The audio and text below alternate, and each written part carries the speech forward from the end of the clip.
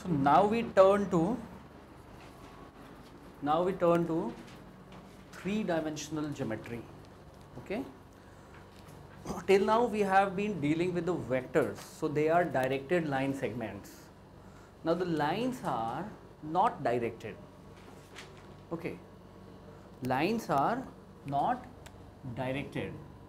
So so the first thing that differs is this. We had seen whenever we have a vector and we make it, we shift it so that it it it sort of comes here with its tail at the origin, then what happens? Then what happens? It I can define I can define the angle that it makes with the positive direction of x, y and z axis as the direction angles okay? And they are alpha, beta, gamma and they will be unique. You understand? So this will make alpha and if this is x axis this is y axis this is z this is alpha this is beta and and this is sorry this is gamma. Hope you understand that. Okay? Now if in place of this vector if in place of this vector we have a line okay? We do not have a vector we have a line. So say I have a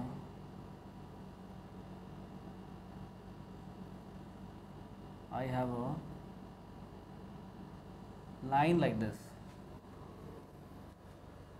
Okay? Since there are no heads or tails of a line obviously line is just like that. So if I attempt to define the angles. Right now I have taken the line that is passing through the origin. We can shift this line okay later and any parallel line will be making the same angle. Okay so so just right, right now you understand this. Now if I attempt to define the same thing alpha beta gamma. And why do I define alpha beta gamma? Because that gives me the absolute exact orientation of the line how it is oriented. Okay? This actually defines the uniqueness of the line.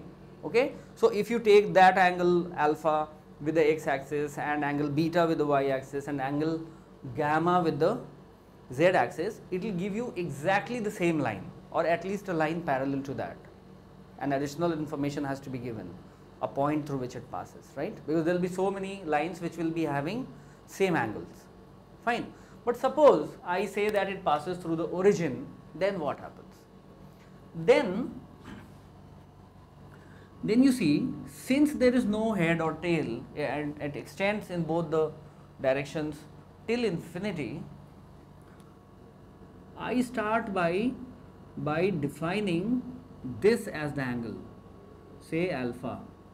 This is obviously x axis y and z. So this is alpha and this is beta. And what will be gamma? Gamma will be this. This is gamma. So far so good. Fine. But the moment I come to this side of the origin something else starts happening. What is that something else this angle the angle that it makes with the x axis now becomes pi minus alpha. I am writing that in red. Okay?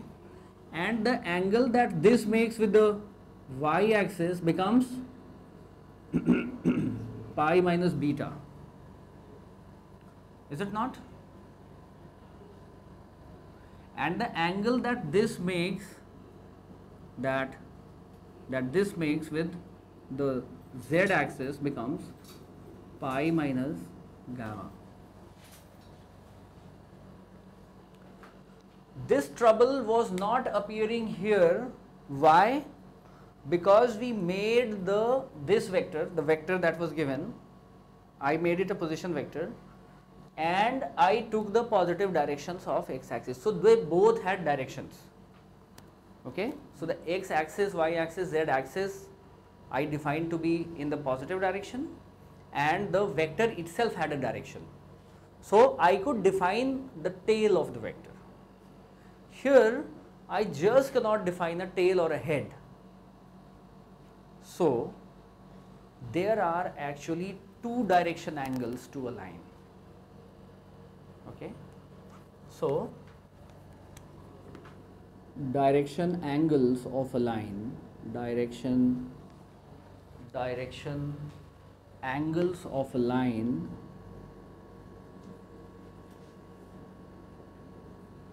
Can be first of all alpha beta gamma.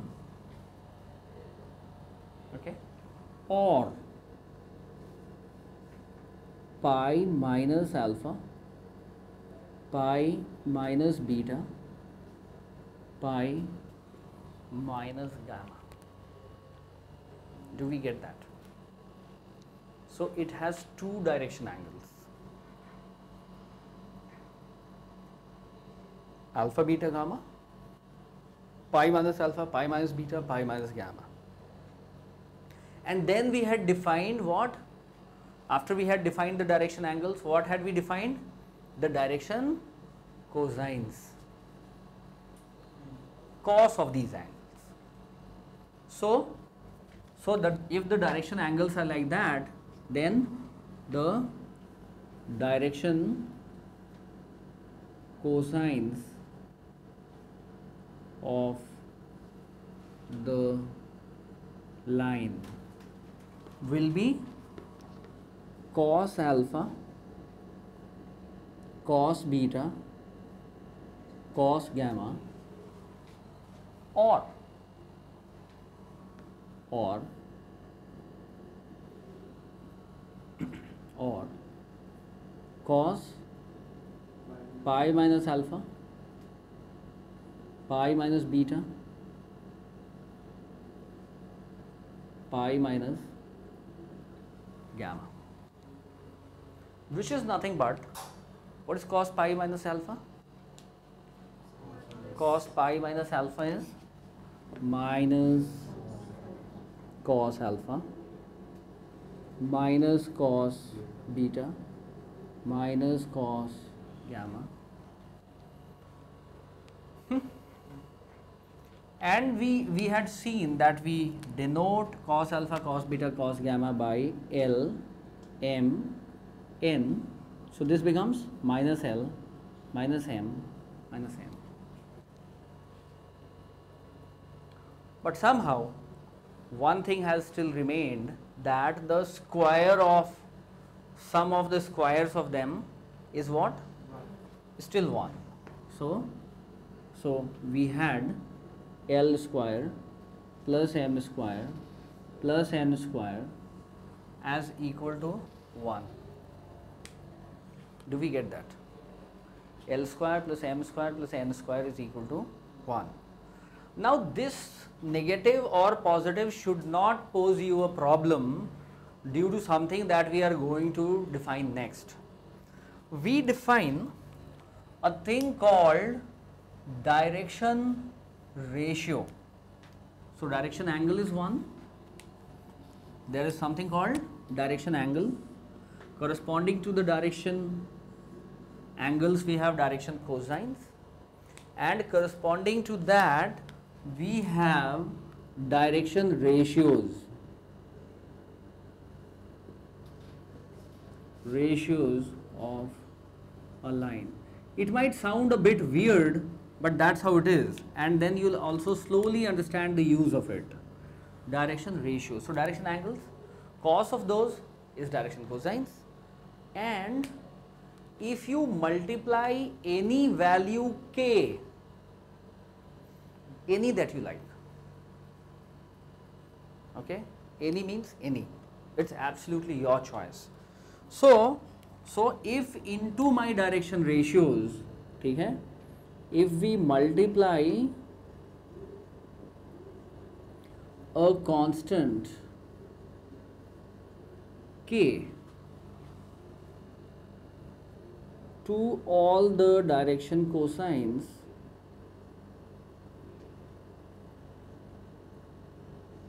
Cosines. We get direction ratios. We get direction ratios. They are written as drs okay? These are written as dcs okay? Normally we do not talk about angle only so they are still direction angles or DAs if you want. Okay but DCs and DRs will be used a lot a lot.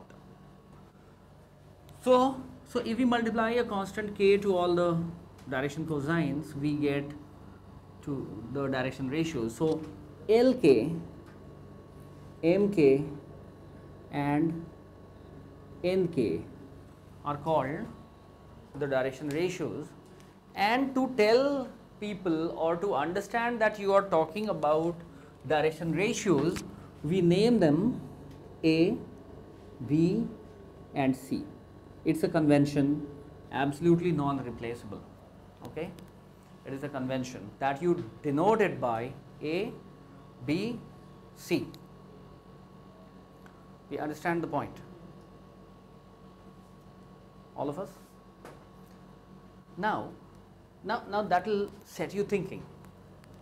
Say, say you have some direction cosine, say, say what should I do? Um, 1 by root 6. so let us say I have direction cosines as okay like this L is equal to 1 by root 6 M is equal to 2 by root 6 n is equal to 1 by root 6. Do they form direction cosines? Are they direction cosines in the first place? Yes, sir. Yes. Why? Because if you do L square, it is 1 by 6, 4 by 6. So that is 5 by 6 plus 1 by 6. 6 by 6 is equal to 1. That is the one and the only test for whether something that is given is a direction ratio or a direction cosine. You square them, sum them, if you get 1 fine it is direction cosine, if you do not it is direction ratio. So what happens now someone says I want to multiply this and you soon understand I want to multiply this by root 6. So what happens immediately the A B and C become 1, 2 and 1. Now this is a pretty decent, this is pretty simple number to deal with. Okay? Okay? Now someone says no, I want to multiply it by say 2 root 6 all. So he'll get the double of this 2, 4, 2. Still pretty okay it's not essential that you always multiply it by such a number that the root goes down, goes away. No.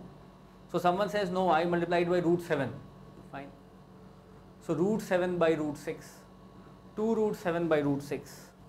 If you multiply it by multiplied by root 7, then then root 7 by root 6 2 root 7 by root 6 2 root 7 by root 6 and root 7 by root 6 they become its direction ratios. That's why I said it's a bit chaotic. So you will feel what? What do you mean? What should I do? So there will be first of all keep that in mind infinite number of direction ratios that you can come across because it absolutely depends on whatever you multiply it with. So there are infinite number of direction ratios there are infinite number of DRs, direction ratios, right? Direction ratios, direction ratios. They are called DRs. Okay? Fine. So there will be infinite number of direction ratios. Now you'll get more confused.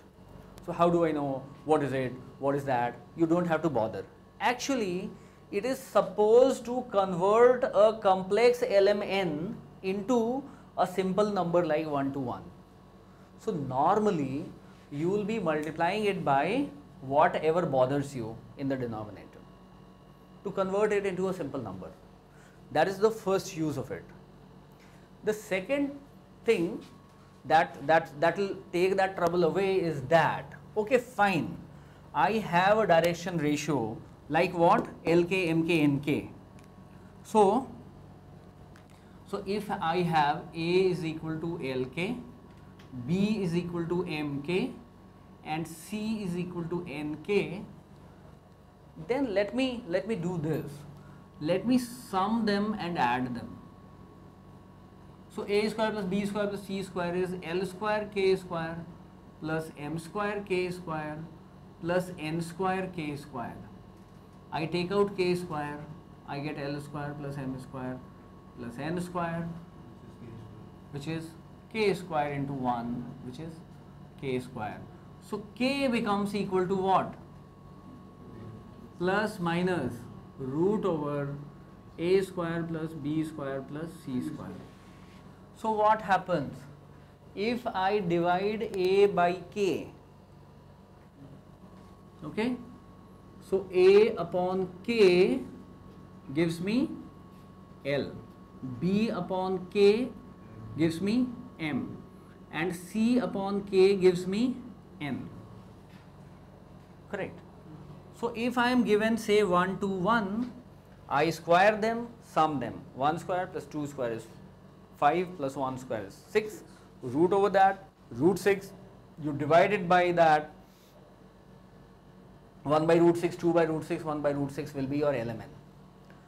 So what I am trying to emphasize is, whatever you do with LMN, that information is still intact.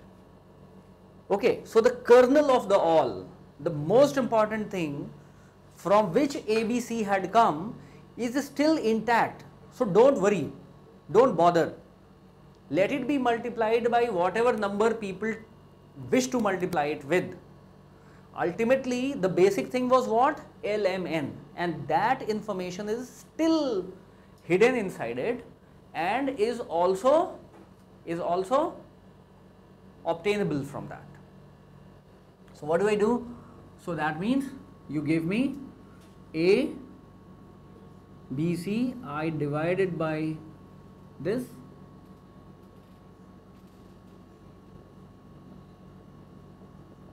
C square.